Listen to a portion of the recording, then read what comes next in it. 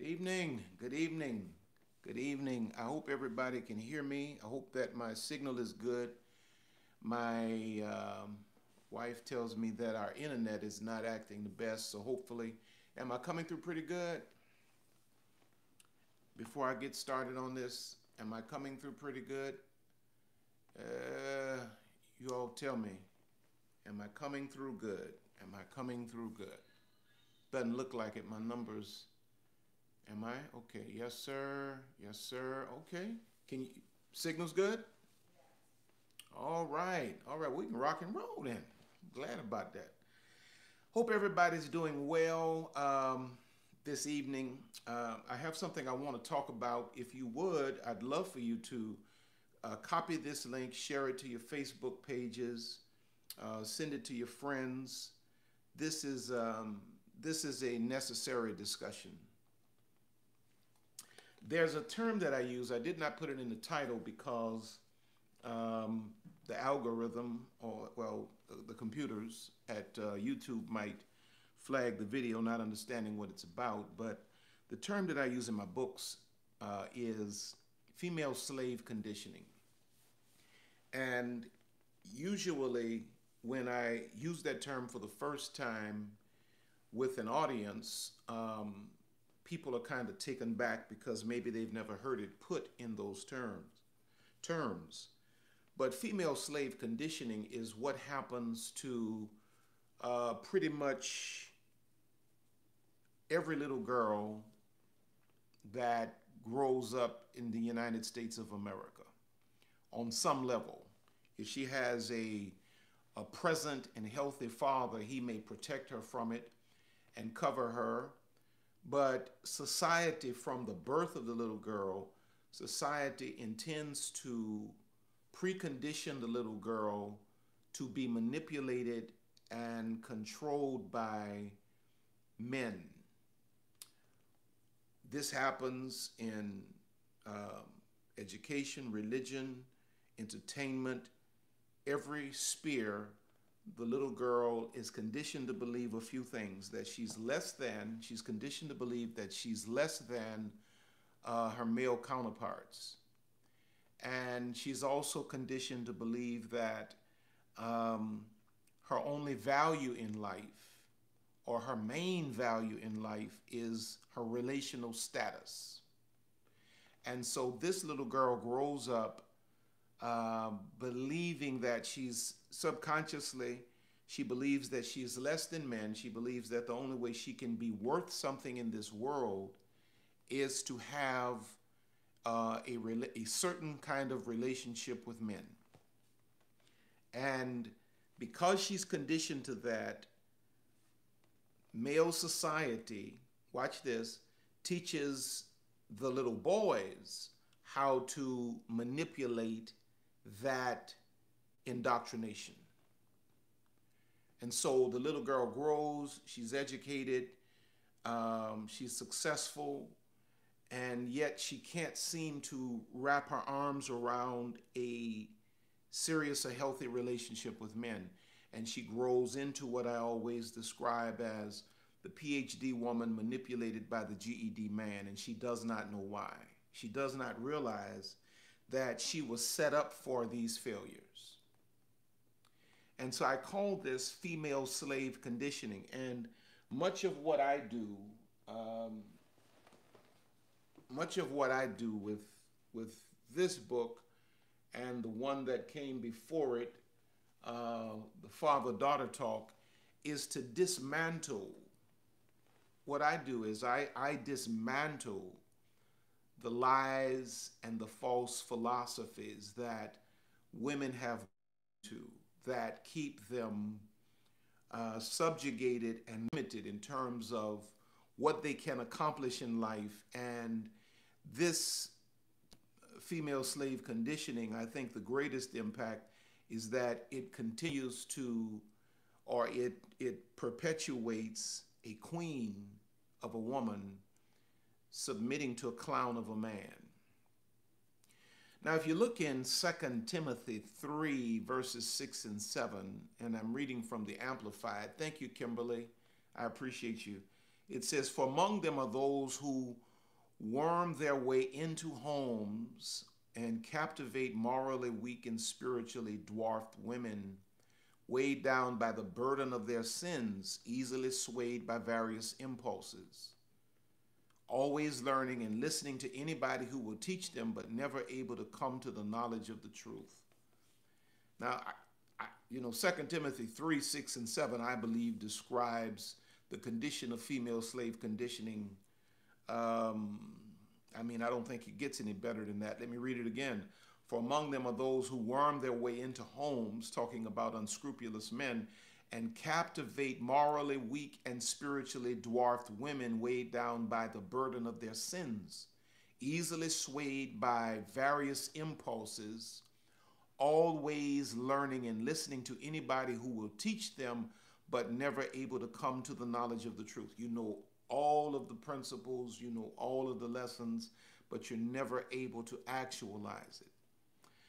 Now, but he uses a term here. He says, For among them are those who worm their way into homes and captivate or take, take captive morally weak and spiritually dwarfed women. This captivity is this captivity that perverted male society uh, exacts upon um, female slave conditioned uh, slave conditioned women this captivity is facilitated through guilt and shame a perverted male society takes a woman and makes her feel two things to manipulate her with guilt and shame now the same society that sets the woman up for the moral failures.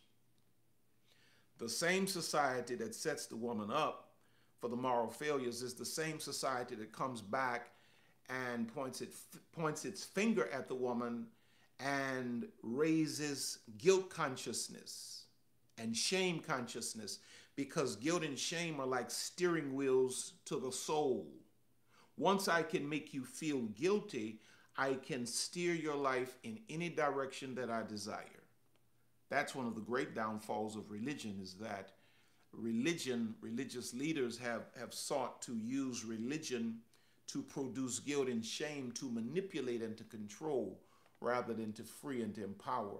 His words are pure. So much I appreciate you. Now, so this is intentional. I want you to hear what I'm saying.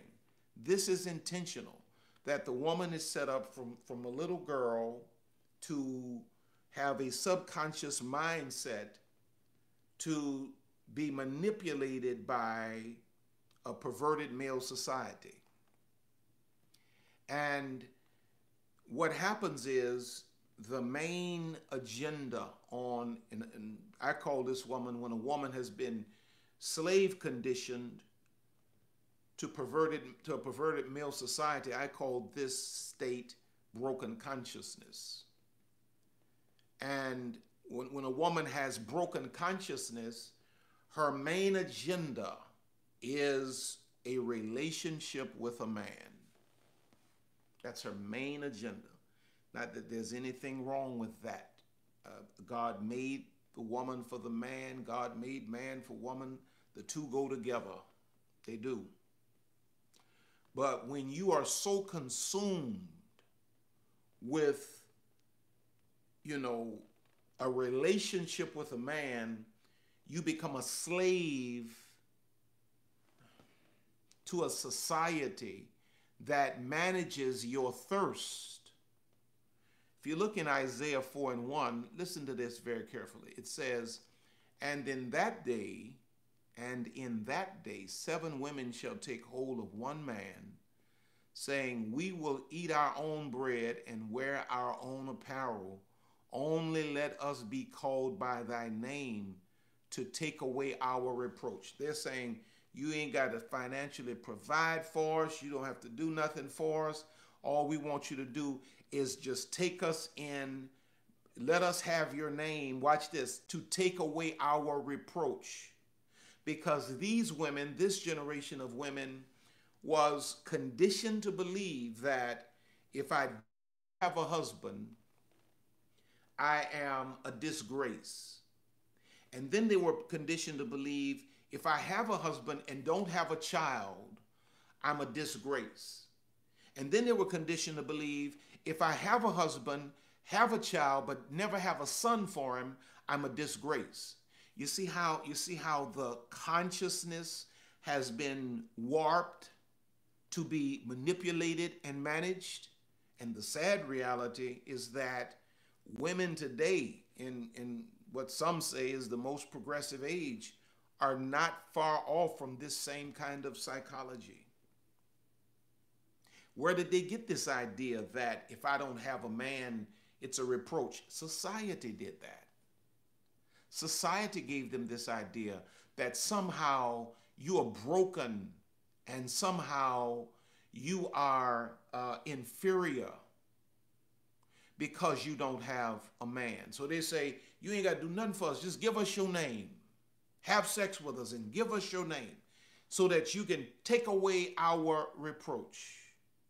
And how many women today are running behind men because you feel like it's a reproach to be 35 or 40 or 50 and not have a, a man or 60 and not have a man? You feel like you feel like it's a disgrace for you to be of a certain age. Sally McEwen, thank you. I listen to you every day and have grown so much since I first found you at the end of last year. Thank you. I consider you and Lisa as my pastors. Thank you so much. That means the world to us, Sally. Now, let me read this. A part of the penalty, you, you go back into Genesis and you look at Adam and Eve, because here's the question. Here's the question. Women quite often want to know why is it that I have, why is it that you have such a desire for the man in your life and you can rarely, if ever, get a man to have the same kind of attraction towards you? Why is it that you why is it that you give it everything you got and you you seem to always end up with men that rarely give anything? Well, when you go back into the book of Genesis, Tamar, thank you so much. I appreciate you. A part of the penalty for Eve's participation in Adam's disobedience, when God said, Don't touch this particular tree, and Eve brought stuff to Adam and kind of talked him into it, a part of her, a part of the penalty for her participation in Adam's disobedience was that God gave Eve, woman, watch this, a desire to please her man. And then God simultaneously gave the man a desire to manipulate the woman. So all of this was a part of the what? Curse. This was a part of, thank you, Angela. Hello, Pastor Blakes. You are always an inspiration to me. Thanks for being you. Thank you, Angela. I appreciate it. That was a part of the curse. Let me read it for you. In Genesis 3 and 16, it says, He told the woman, I'll multiply your pains in childbirth. I'll multiply your pains in childbirth. You will give birth to your babies in pain. You'll want to please your husband, but he'll lord it over you. So there you have it. When you look at this, this uh, strange dynamic between woman and man, why is it that the woman bends over backwards? Why is it that the woman is um, self sacrificing and the man is manipulative and controlling and abusive? It's because you go back to the original fall of mankind. This is the broken consciousness of men and women at work and at warfare one against the other. Now, how does this happen? How does how does society condition the woman for manipulation? Number one, number one, if you're writing, if you if you if you writing, uh, write this down. If you're not, you need to get something to write with. Number one, there's a constant indoctrination intended to miseducate and misdirect the woman from a little girl. Constant indoctrination intended to miseducate and misdirect the woman from a little girl.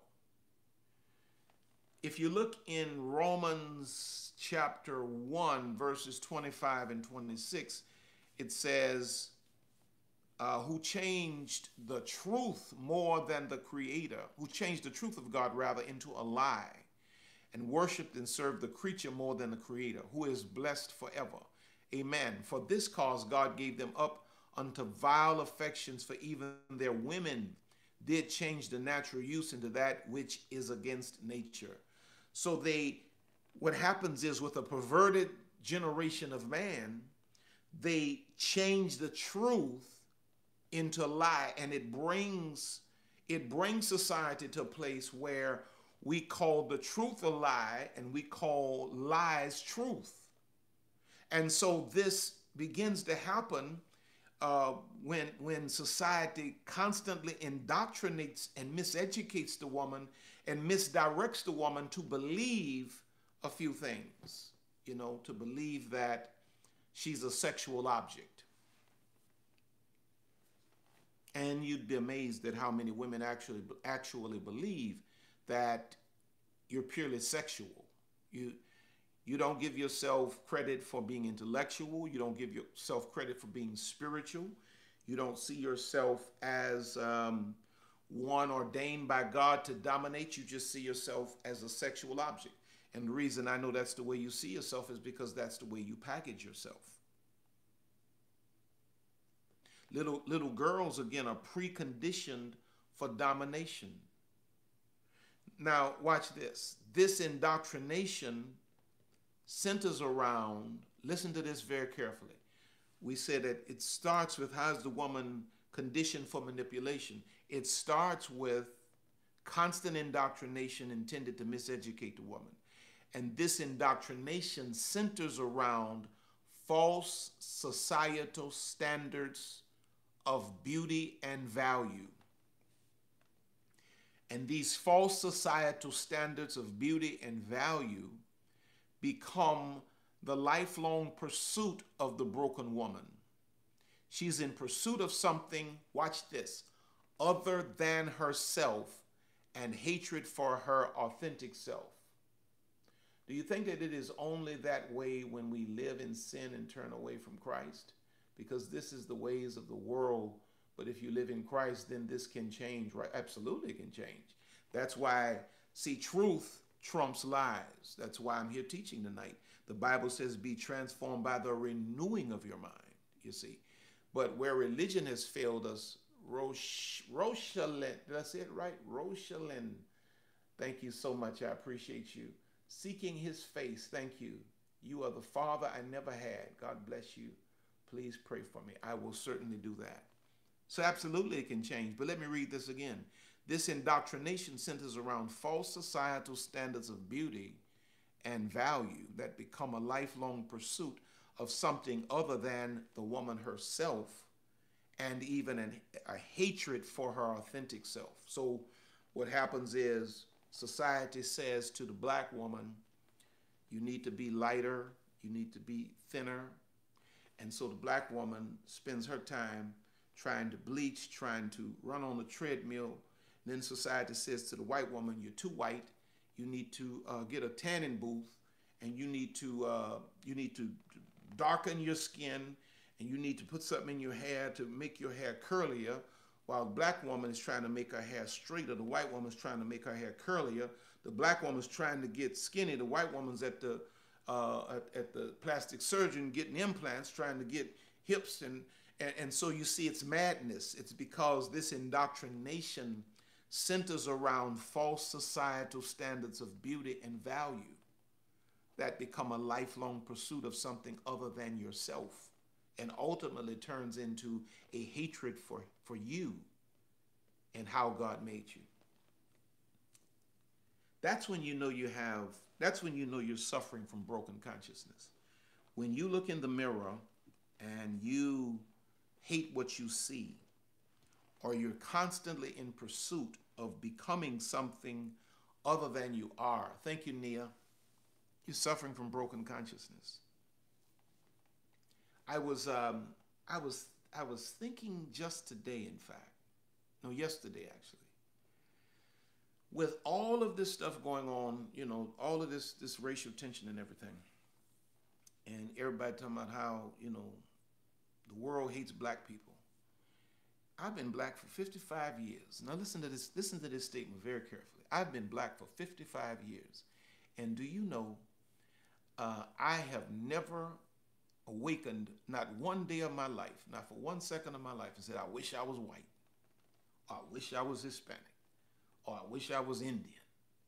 I have always embraced what God made me to be.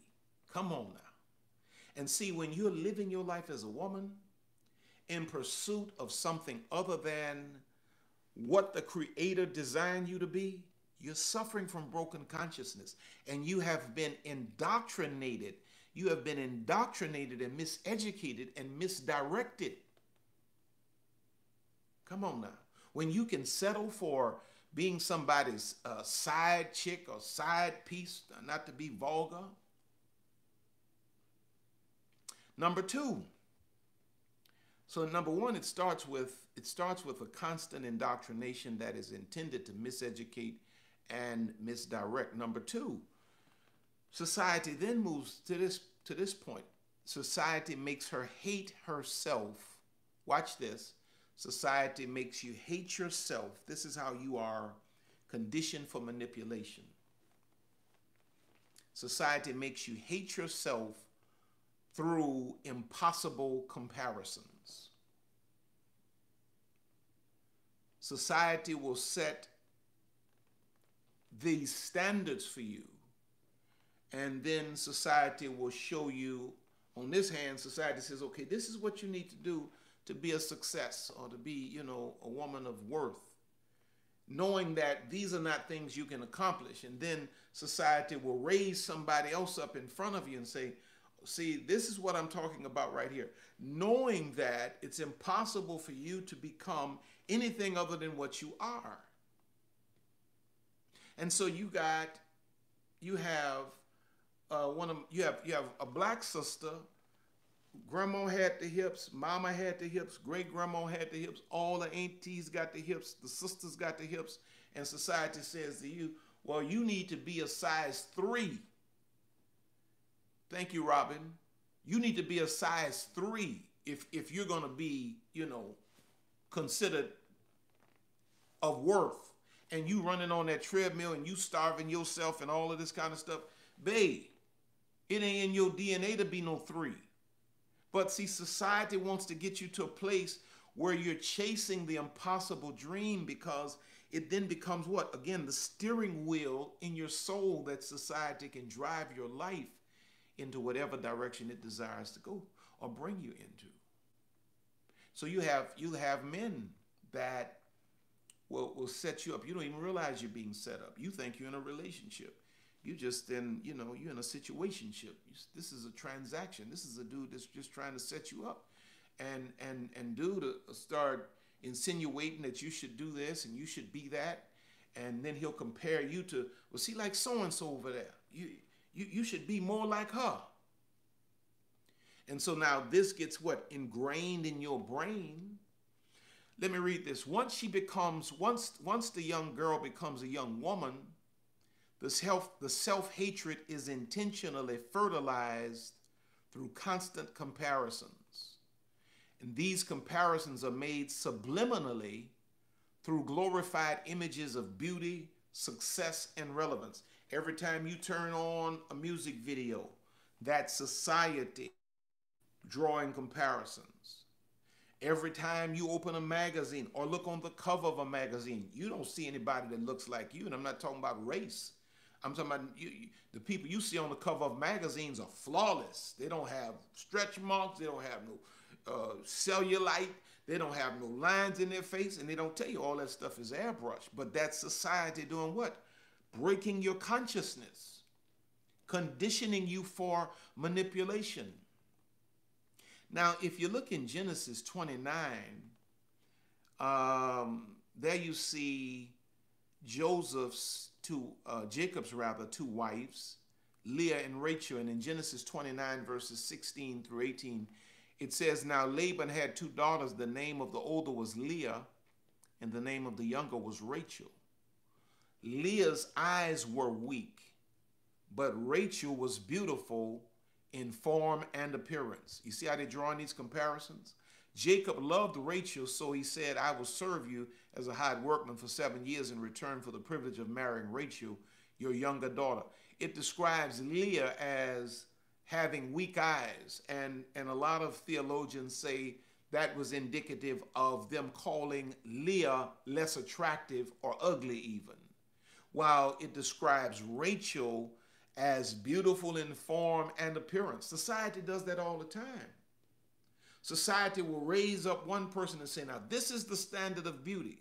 That's the standard in one part of the country. Then it'll raise up another standard of beauty over here. And then society will compare you to that. And you will, you will be driven insane by the comparisons. Now, watch this. The men in her life, the young girl, as she's being conditioned, the men in her life will constantly compare her to other women, never affirming her personal value. This will happen from one relationship to the next. Every man you get, and see, I'm bringing this out because I want you to be able to recognize it when you see it. Every man you get will be comparing you to his ex woman, or he'll be comparing you to a woman across the room, or you'll compare you to a woman on the job.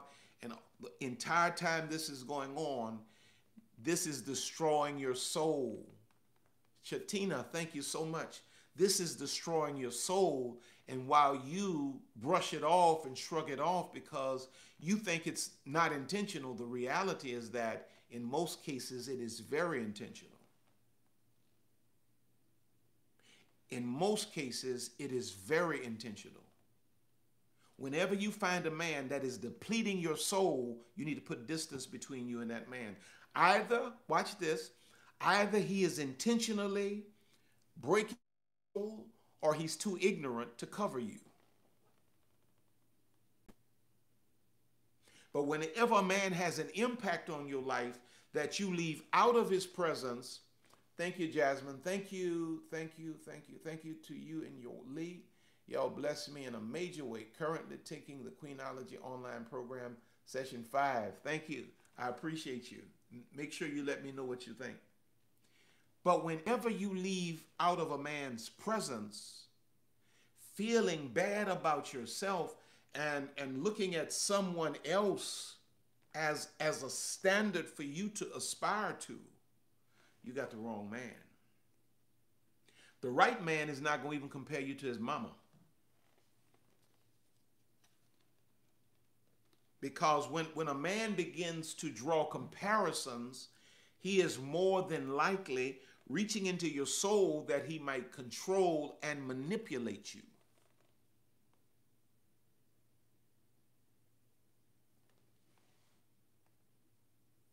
All right, number three. Number three, third step is that society makes her compete. Watch this. Okay, let me go back to one. Number one, we said that it starts with constant indoctrination that miseducates and misdirects Number two, society makes her hate herself through impossible comparisons, comparing you to people and, and, and you know things that you is not even in the cards. It's you you're different. You're different. Uh, thank you, Riley. Thank you so much.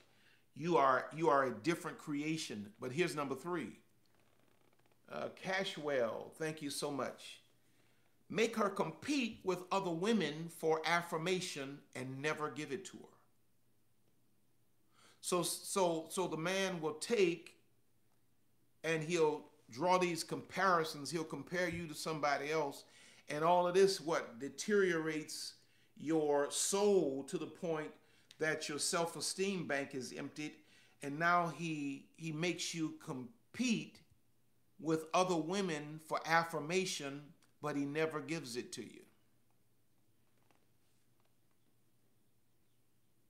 You find yourself, you find yourself, he draws these comparisons to the point that you find yourself with many broken sisterhoods so dysfunctional that you don't even know how to get along with women. Like your women say, I just don't like women.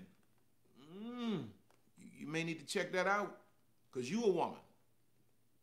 You may need to check that out because broken consciousness creates within the woman a competition with other women for the affirmation of men that will never get it. They put you on this uh, this treadmill, this approval. I call it the approval trap, where you're constantly doing things, waiting for the affirmation or the approval from this man, and he never delivers it. And you're constantly competing with all of the women in your in your in your circle. On the job, you're competing for the affirmation of you know whoever the boss is if he's a man. Now, I wrote this. This is how a man subjugates a woman sexually. He hates her and yet uses her for sex. He makes, again, number three, he makes her compete with other women for affirmation and never gives it to her. He, he, he withholds affirmation. He, it's almost like it's almost like a drug dealer that gives a, a, you know a person a little bit just to get them hooked and he never you know he, he just keeps them strung out.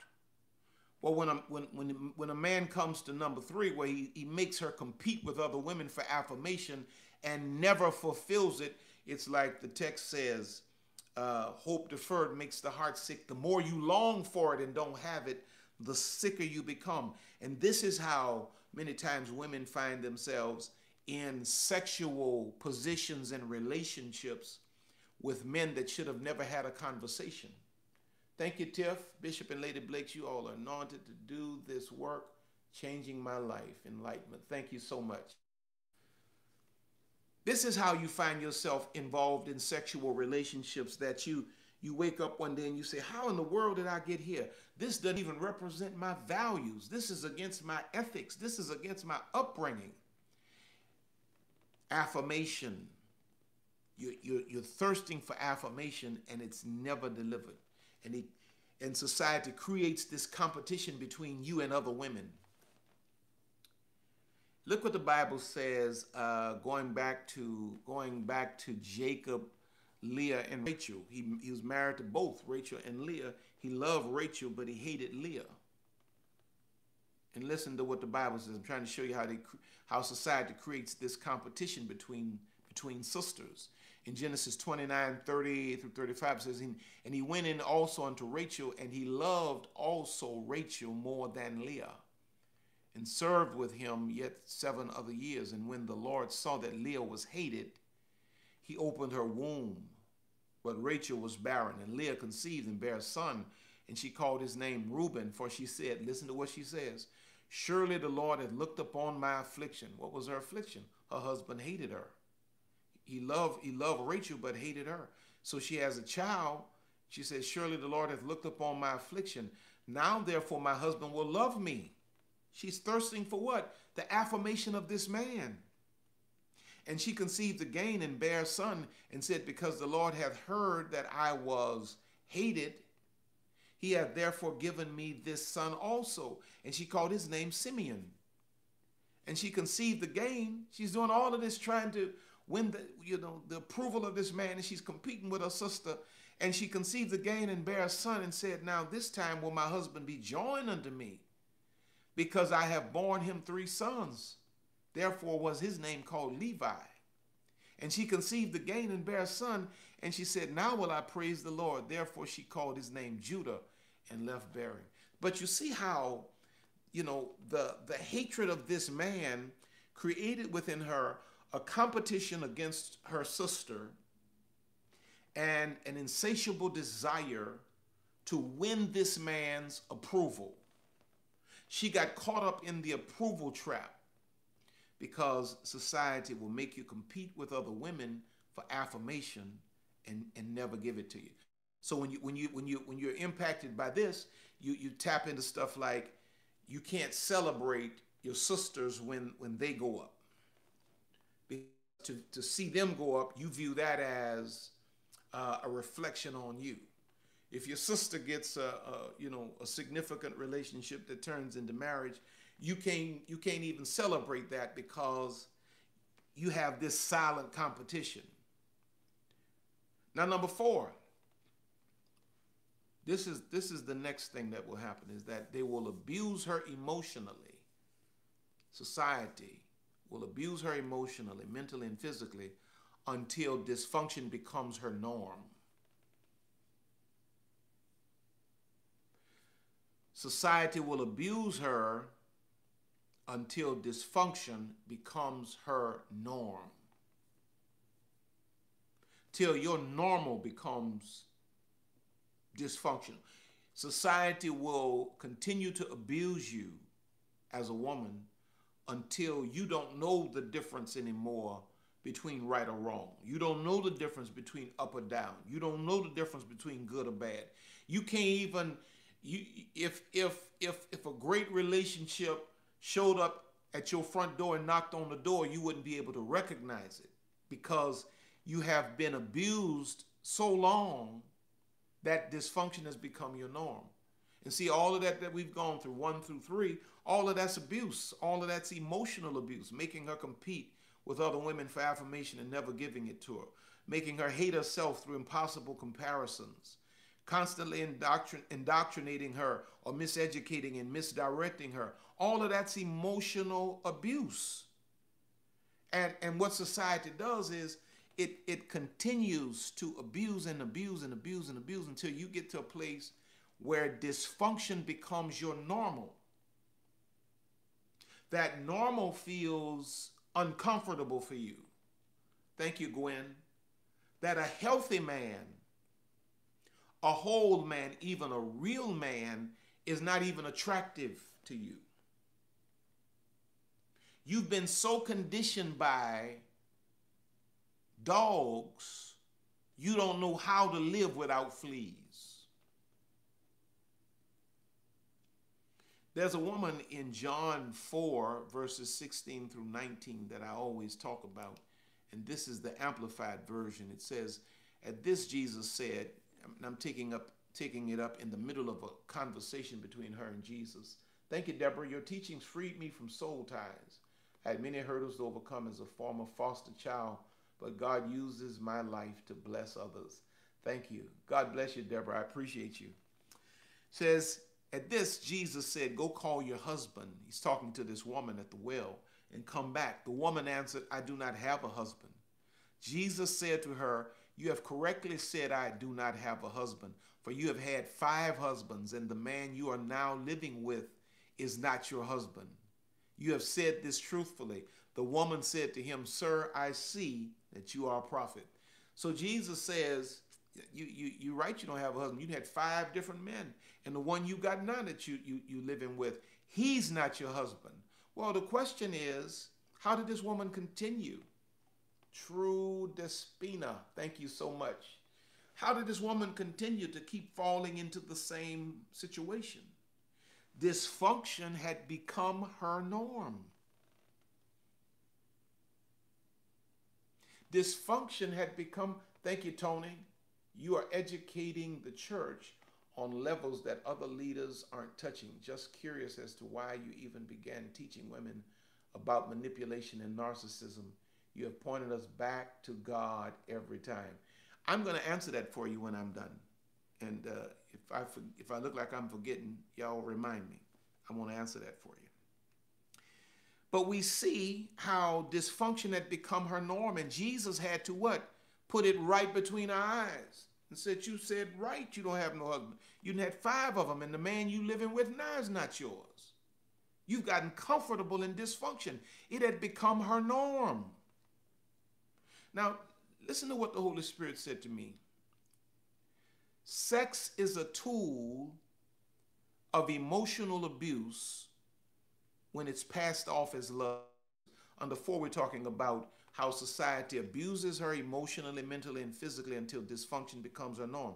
There are some of you who are engaged in consensual sexual relationships, and it is as much abuse as uh, molestation or rape. Because the person that you're sleeping with is passing off the sexual act as though it is love and you are believing it. You are being emotionally abused.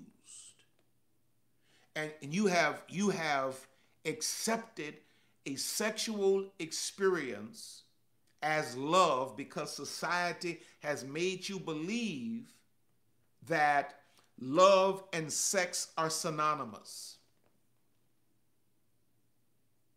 And so there are times that women are engaged in consensual sexual relationships and are yet being abused and don't even realize it. Because it is just driving it is driving you deeper and deeper and deeper into a dysfunctional norm. Thank you pam. Hi rc blakes. I love watching you. This is for you and lisa to have lunch on me.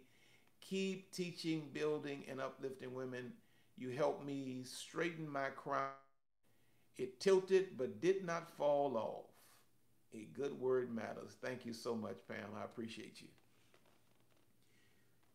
it is driving you further and further into a dysfunctional norm. Like it's amazing to me.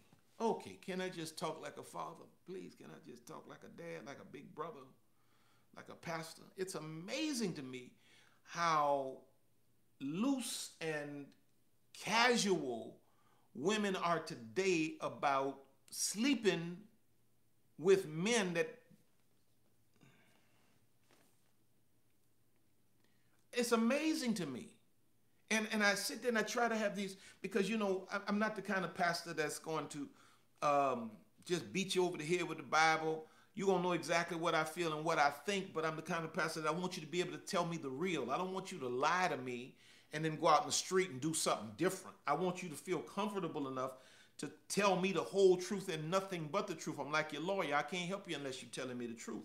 And and, and many women when we have these conversations, it's like having sex with a dude ain't no big deal. I'm like, okay, so giving your body to a man that has not earned it is no, it's no big deal. And, and I'm sitting there and I'm listening and I'm realizing that this is from years and years and decades and decades of emotional abuse that has created a dysfunctional norm in your mind for you to believe as a woman the most precious thing God has ever made. It, it, it, is, it, is, it is the fruit of, of the seeds of dysfunction that have been sown through constant abuse, emotional abuse, that makes you believe that it's no big deal to give your body to a man that you ain't married to. It's no big deal. You know, we we we dated. We we've been out on a date three times. How many times you got to go till you get married? Till you get married. I mean, if, if, if you know you at least wait till you get engaged. At least at least be engaged publicly. At least do that. Listen listen to what the Holy Spirit said to me. Sex is the world's greatest hallucinogenic. Sex. Thank you, Shadana. I appreciate you. Sex is the world's greatest hallucinogenic. It is used to make the woman perfectly comfortable with disrespect and dishonor by casting the illusion of love.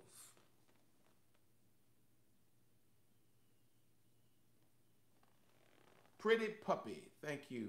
Thank you, Pastor, for standing up for women and educating us on how we have been conditioned by society to be low value. Thank, thank you. We can, uh, thank you. We can bring up our daughters to be queens. God bless you and your family. Thank you so much. I appreciate you. Thank you, Sharon. I appreciate you. Uh, Ms. Carter, I just want to let you know that you are certainly heaven sent. I really appreciate all your messages. God knows I do. I have grown tremendously and spiritually. Everything I learn from you, I share with my two young daughters. Thank you, sir. That's the point. Thank you, Felicia. I want I want the babies to to understand before we get started, before they get started in life. Let me read this again.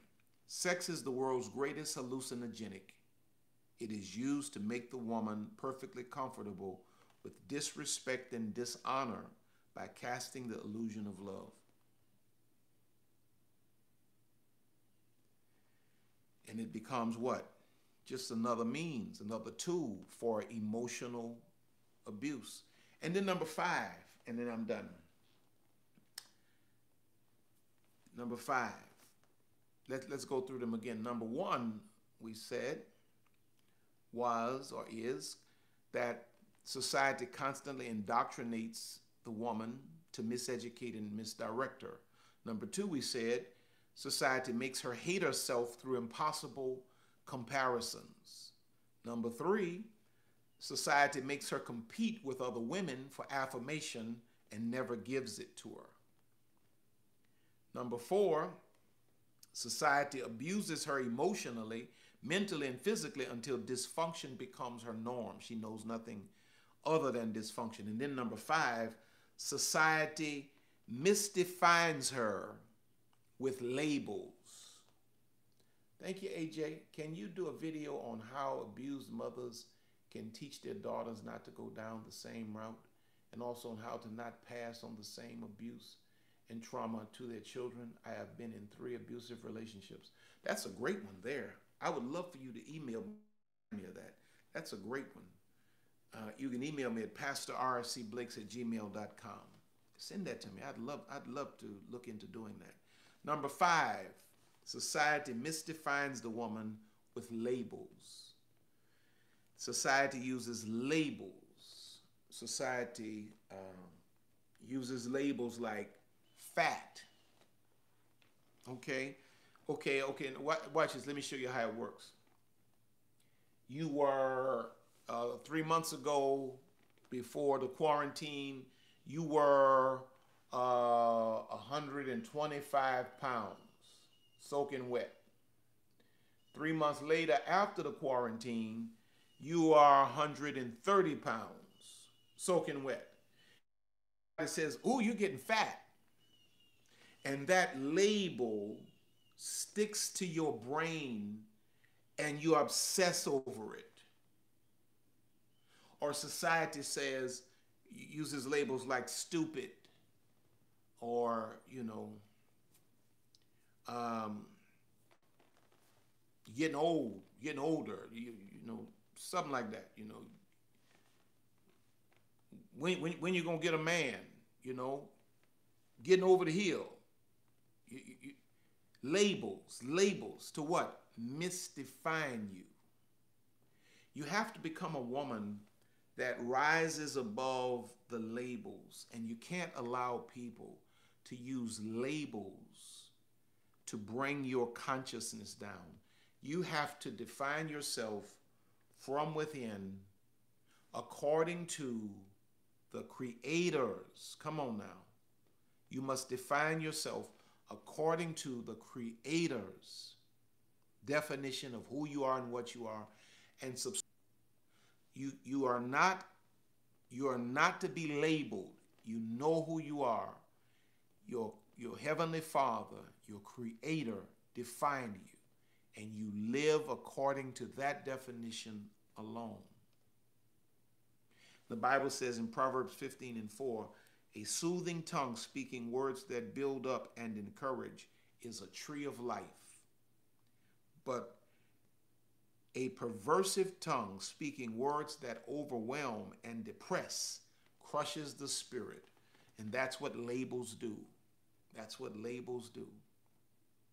So this is, you know, I, I, I, I bring these kinds of teachings to you because the more I teach it, the more you will be able to recognize it when it's happening because these things are this this is going on all the time. Some of you are going to get off of this live tonight and you're going to get on the phone with homeboy and you're going to find where, where he's trying to do some of this very stuff right. He's trying to indoctrinate you. He's uh, trying to compare you. You're going to find where he's trying to create a competition for affirmation. You're going to, you're going to find it. You're, you're going to see it showing up in, in, in your life. And when you begin to recognize it, you can cut it off. The reason so many women are so uh, significantly, severely impacted negatively by these things is because most women have not been prepared to recognize it. And it's kind of like a mind game that goes on. And by the time you wake up and realize you're in something, you're like caught up in the it, and emotionally, you've lost yourself. But when you can recognize the enemy's tactics and you can recognize what the devil is trying to use to destroy your queen consciousness, it is then that you can resist. Thank you, Terry. I will be tithing to your ministry from now on. I showed my pastor your videos. He said you should do a pastor's conference, laugh out loud. Oh boy, you've restored my walk with God, and I will not waste my pain. Thank you, Pastor. And tell your pastor I said thank you. I appreciate you. So, listen, those are just my thoughts for this evening. Um, let me pray for you before I let you go. Father, I thank you for I thank you for this word. I thank you for this revelation. I thank you for every man, woman, boy, and girl that might be listening to this. Now, Father, I thank you for the anointing. Let the anointing of the Holy Spirit, let it register, dear God, and let your people sense your presence tonight. Whenever they might be listening to this, let them sense your presence. And God, I know that there's somebody on the other end of this connection that's weeping and crying because they've seen so much of themselves in what we've talked about. Father, I thank you now for bringing calm to that storm. I thank you for bringing healing to that pain. I thank you for bringing healing to that pain. And now, God, there's some that don't even know you. They don't know you like I know you. Father, I thank you for supernaturally just moving into that room, that space where they are, and letting them sense, maybe for the first time, the peace that passes all understanding. In Jesus' name, amen. There was no number six and seven, it was just five. Now, back to the question that um, I'm supposed to answer. What was the question again? Um, let me see if I can. What was the question again? Uh, let me see if I can find it. Oh, trying. Let me see. Maybe that's it. You. I'm still looking for it.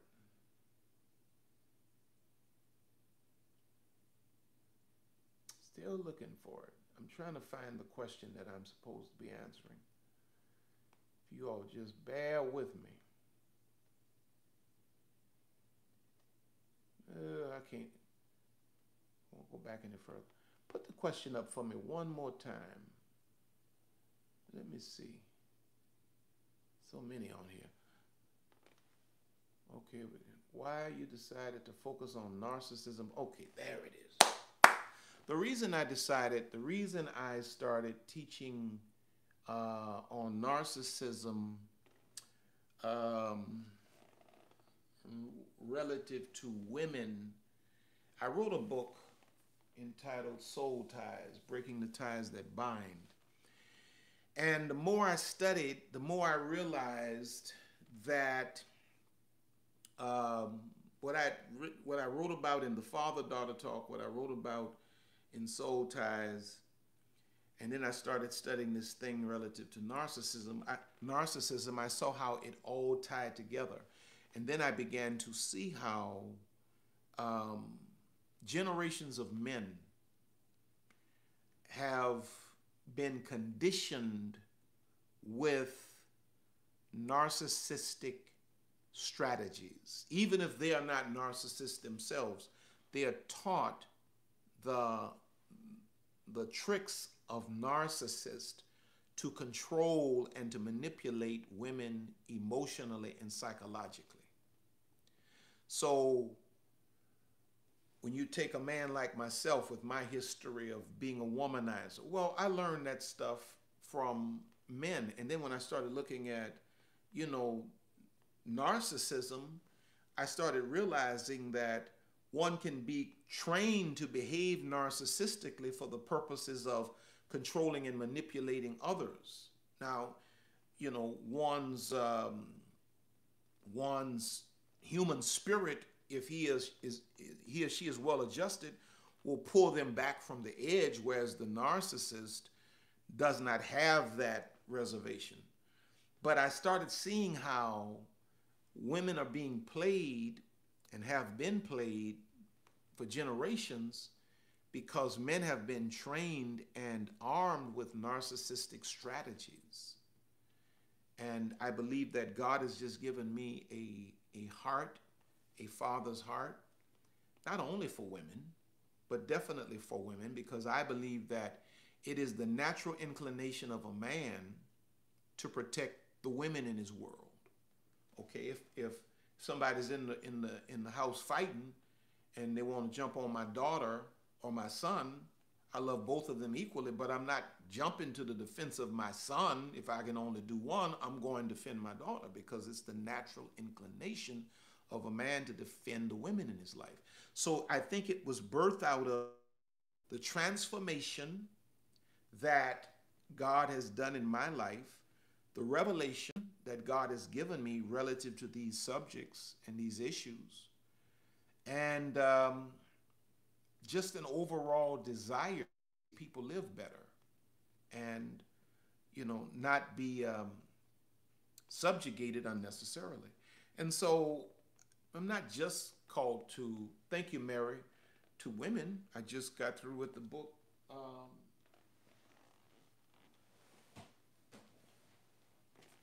kingology. This is for the men. This is the deal with the you know a, a broken generation of men. So I'm not just about women, but God has definitely given me uh, a mandate to speak into the lives of women and empower women around the world to grab hold of that consciousness and to rise out of the very stuff that we just got through talking about tonight. But I believe that's where it came from. Thank you, Cheryl. I believe that's where it came from, and that's why I'm so passionate about it.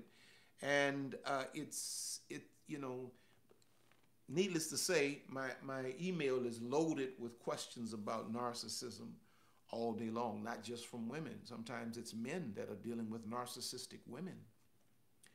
And so I hope that answers your question. But yeah, yeah, that's that's where it comes from. God just kind of planted that thing in my spirit. And in fact, about it, when I first started speaking to the empowerment of women, people didn't understand it. You know, um, pastors were like, "Man, okay, when you go, when you gonna get off of this kick?" And it wasn't a kick. You know, as I started dealing with it, I realized that we have lost generations of women because, thank you, Karen, because no one has taught them, no one's had that father daughter talk with them to teach them how to function in a perverted male society that views them as prey and is using all of these games that we discuss, using all of these games to manipulate and control. And so it's not a kick, it's it's it's a ministry and it's most necessary to save a generation of women. And believe it or not, there are a lot of men that love what I'm teaching, and the men take what I teach the women and they challenge themselves and they become better men as a consequence. So it's something God gave me. I guess that's the that's the short of it all. All right, I, I've had you all on here for one hour. I love you. I appreciate you. I thank God for you. Uh, don't forget to stop by my website, rcblakes.com. Uh, Queenology, the online program, Soul Ties online program, Transcending the Father Wound, the online program, um, uh, Wisdom for Women in Ministry, uh, online program. It's all there. And the most expensive one is $49. And it's, it's, it's an amazing value, I promise you. And uh, don't forget, if, if you've not, tell the brothers I need them to, to pick up this. It's on Amazon. It's at Amazon now. You can buy the book and I did it all at the same time. The book and the workbook or the study guide for the for the brothers. This I think would be a great tool for mothers of young single mothers of young men. Sit down and do this work together, and uh, we're gonna raise up manhood in this generation. Okay, am I missing anything? Am I missing anything? I, I'm sure I am. I love y'all. I love y'all. I love y'all. Oh, somebody say Father's Day gift. That is true, huh? I, I, I need you on my marketing team. That's true. Yeah, this would be this would be a great Father's Day present. Um, the book and the study guide. And if those of you that have my study guides from uh, Queenology or Father Daughter Talk, you know how it goes. Um, maybe I should just close this up and let y'all go. But you're going to have key scripture. You're going to have principles to remember. You're going to list all of the principles from every chapter. You're going to need to do this work. I suggest doing it after you read the chapter. Principles to remember, questions to answer.